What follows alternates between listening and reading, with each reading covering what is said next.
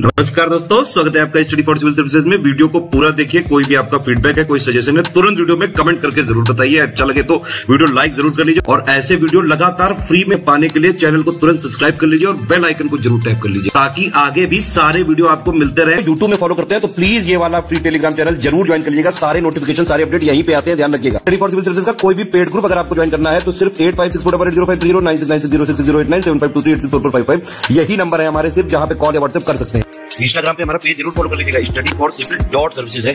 Twitter पे हमको ज़रूर फॉलो कर लीजिएगा। At the rate study for civils है। सारे क्वेश्चन अटेम्प्ट करिए और स्कोर अपना तुरंत कमेंट करके बताइए। दोस्तों नमस्कार। स्टडी फॉर सिविल सर्विसेज़ में आप सभी का स्वागत है। यहाँ पे हम लोग एपीएस वैकेंसी के लिए जो वैकेंसी आई हुई है उसके लिए पेड क्विज देख रहे हैं अपनी। वीडियो फॉर्मेट में कंटिन्यू करेंगे। इसकी एक्सपेक्टेड डेट जो है अनाउंस की कर दी गई है। है ना? अराउंड जो है सात जनवरी को एक बार कंफर्म कीजिएगा। ठीक है? तो टाइम कम है, यहाँ पे प्रैक्टिस बहुत ज़रूरी है। उस कम में ये वीडियोस काफ़ी हेल्पफुल हैं, क्योंकि काफ़ी एक्सपेक्टेड क्वेश्चंस होते हैं ये। इनको आप फॉलो कीजिएगा। ग्रुप्स हमारे अभी भी चल रहे हैं। अगर आप एडमिशन चाहते हैं पूरी तैयारी के लिए, बहुत ही कम टाइम में to the point study material के साथ तो हमारे साथ जुड़िए। कॉन्टैक्ट डिटेल हमारी इस वीडियो के डिस्क्रिप्शन बॉक्स में दी हुई है। ठीक है? स्टार्ट करेंगे आज के फ़र्स्ट क्वेश्चन के साथ।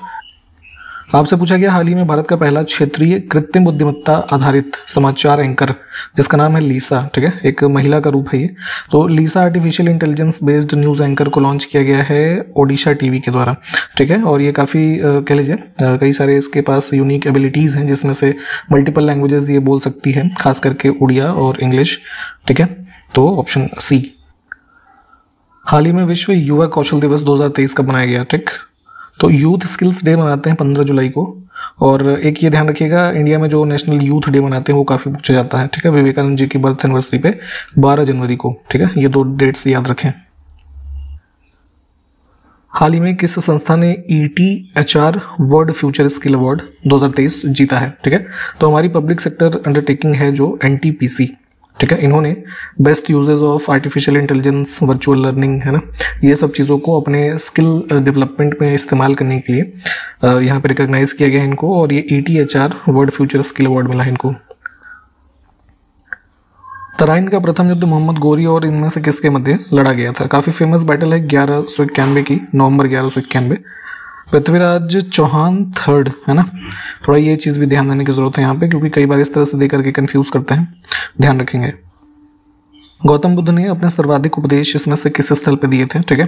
तो सारनाथ से जो प्रक्रिया स्टार्ट हुई, ठीक? तो उसमें उपदेशों की संख्या सर्वाधिक जो स्थल रहा वो श्रावस्ती, उत्तर प्रदेश में ऑप्शन बी दिल्ली सल्तनत में कई सारे अलग अलग शासक हुए और कई सारी प्रसिद्धियाँ भी होंगी तो उसी क्रम में है कि सर्वाधिक विद्वान शासक, जो खगोल शास्त्र गणित एवं आयुर्विज्ञान समेत अनेक विधाओं में माहिर था, ठीक है?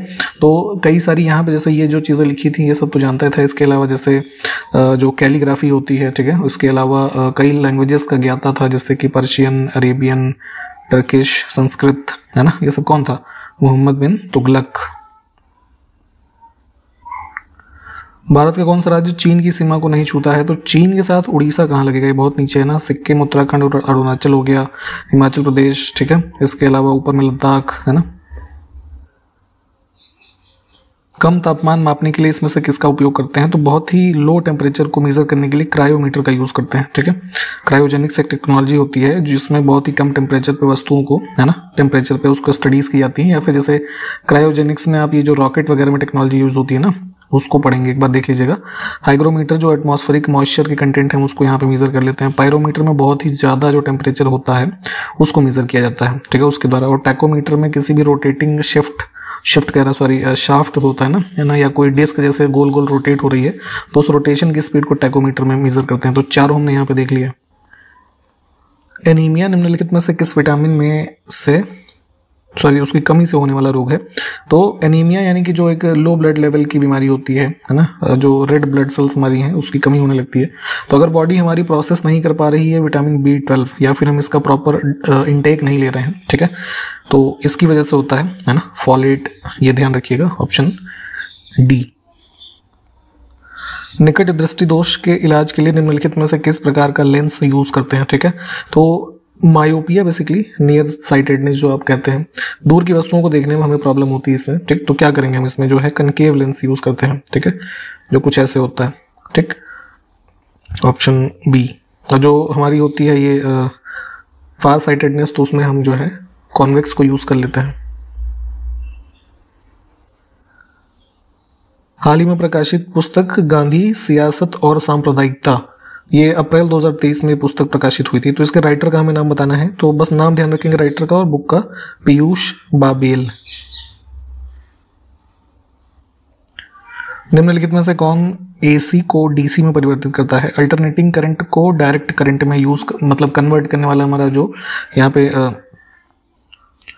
ऑब्जेक्ट होता है, ये होता है रेक्टिफायर इसको ध्यान रखेंगे। पूछा जाता है अक्सर। निम्नलिखित में से कौन सा गोबर गैस का घटक नहीं है, ठीक है? पहले कुकिंग वगैरह के लिए काफ़ी यूज़ होता था गोबर गैस इसको बायोगैस भी कहते हैं। तो बेसिकली क्या होता है इसमें कि ऑर्गेनिक वेस्ट हमारा जो होता है काउ डंग वगैरह कह लीजिए तो इसकी ऑक्सीजन की एब्सेंस में जो ब्रेक डाउन होता है, उसके माध्यम से इसका उत्पादन होता है, ठीक? इसमें मुख्य कॉम्पोनेंट होता है मीथेन सी एच फोर लगभग साठ से पैंसठ परसेंट अगर हम एक यूनिट की बात करें, ठीक? उसके बाद सेकेंड पोजिशन पर मान लीजिए हम इसमें मान लेते हैं कार्बन डाइऑक्साइड को लगभग तीस परसेंट और बाकी जो रेशियो बचा उसमें हाइड्रोजन भी आ जाता है, इसके अलावा कुछ सल्फ़र के कंपाउंड आ जाते हैं। अमोनिया इसमें नहीं होता, ठीक है? इसमें से कौन सा रोग और अंग सही सुमिलित नहीं है, ठीक है? तो बीमारियाँ और उससे प्रभावित होने वाला हमारा बॉडी का पार्ट तो जो है, ट्रैकोमा गलत है। ट्रैकोमा से कान नहीं, आँखें खराब होती हैं, ठीक है? आइज़ की बीमारी है और बेसिकली ये बैक्टीरिया से होता है। पॉजिटिव एजेंट भी ध्यान रखेंगे। इन्फेक्टेड कोई हो, उसके आई ड्रॉपलेट्स है ना?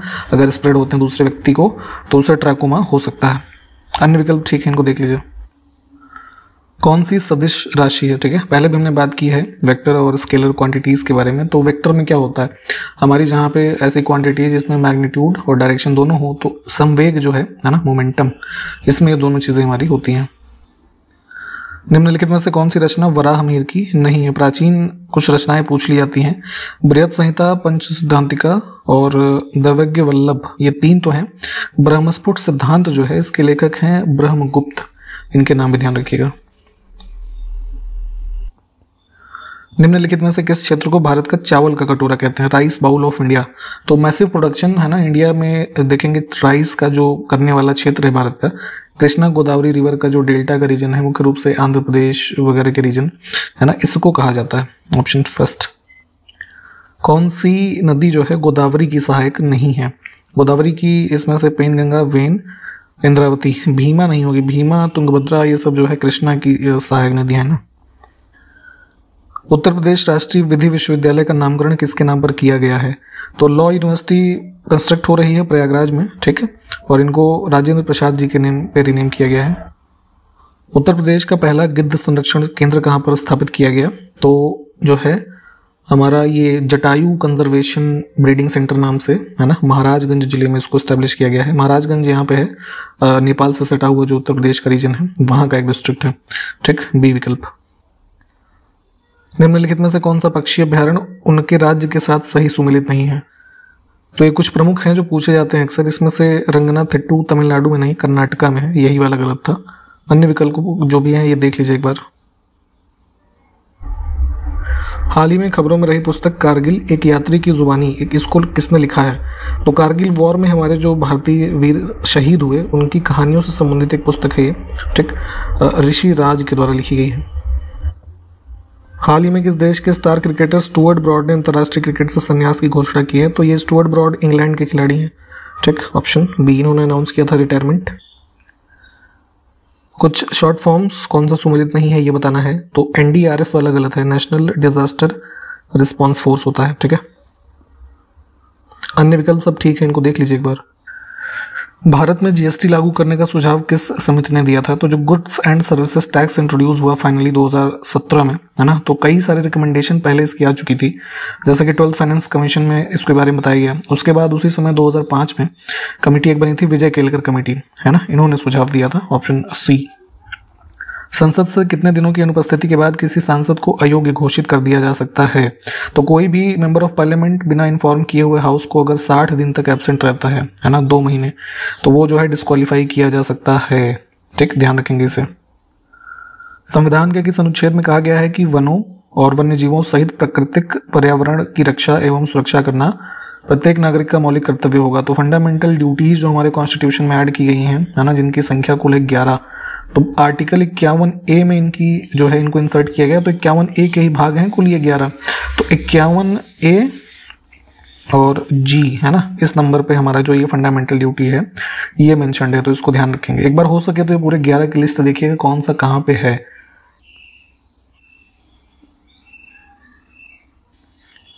ऑपरेशन पोलो किससे जुड़ा हुआ है, ठीक है? तो ये एक प्रकार का मिलिट्री एक्शन था। इंडिपेंडेंस के बाद जब जितने भी प्रिंसली स्टेट्स थे, उनको यूनिफाई किया जा रहा था भारत के अंतर्गत। तो हैदराबाद के जो यहाँ पे निज़ाम थे, मना कर रहे थे।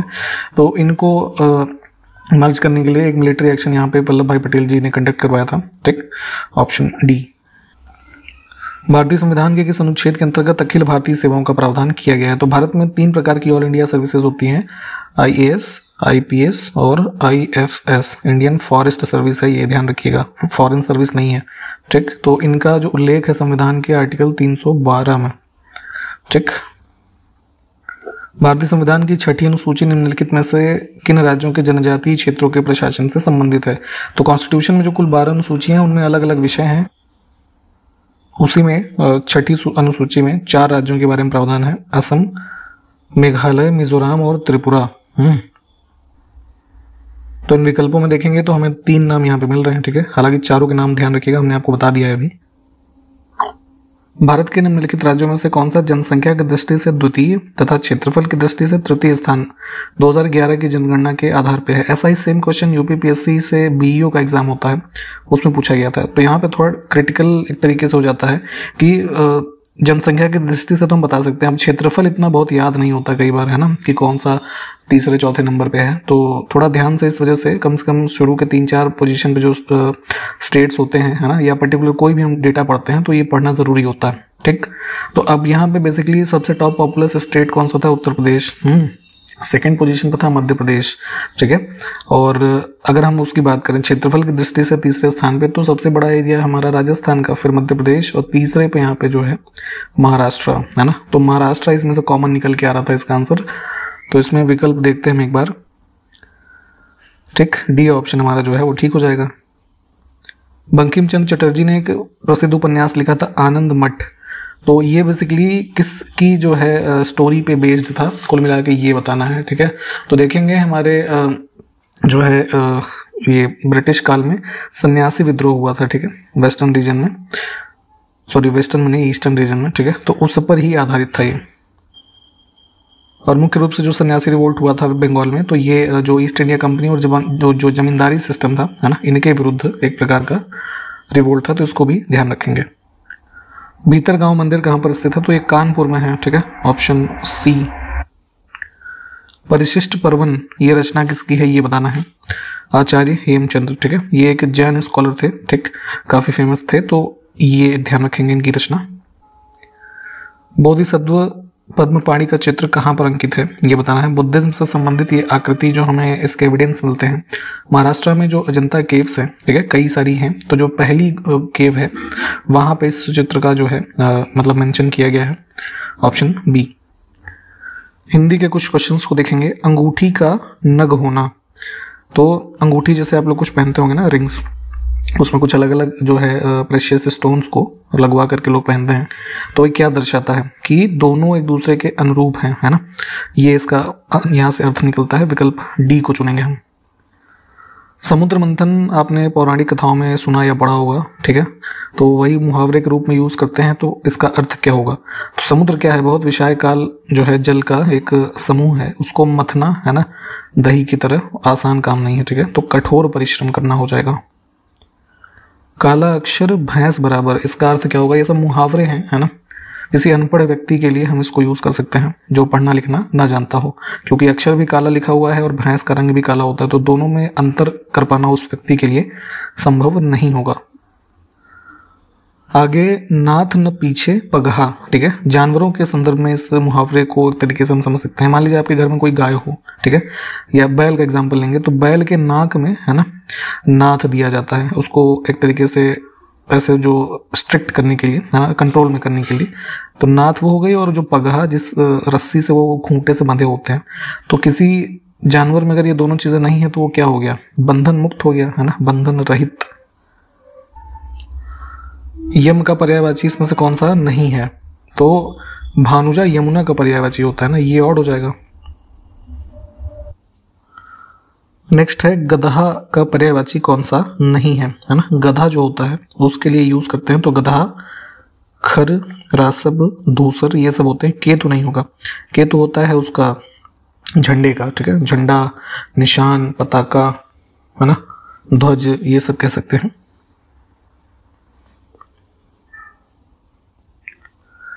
नेक्स्ट है, खल का पर्यायवाची कौन सा? नहीं है, ठीक है? तो यहाँ पे दुष्ट, अधम, नृशंस, ये सब खल से संबंधित है। शकुनी नहीं होगा। शकुनी पर्यायवाची होता है पक्षी का, है ना? इसमें चंद्रमा का पर्यायवाची कौन सा? नहीं है, ठीक है? तो द्युति नहीं होगा, ठीक है? एकापति विदु, हिमकर, है ना? ये सब जो होते हैं हमारे, चाँद, चंद्रमा, है ना? राकेश, हिमान, बहुत सारे होते हैं। एक बार लिस्ट देखिएगा। जल यानी पानी का पर्यायवाची इसमें से कौन सा है? तो सलिल हो जाएगा, ठीक है? रसना जैसे होता है, ये जीभ का पर्यायवाची होता है, ठीक है? इसको ध्यान रखेंगे। केहरी और गेंद जरा आप लोग कमेंट करके बताइए तो।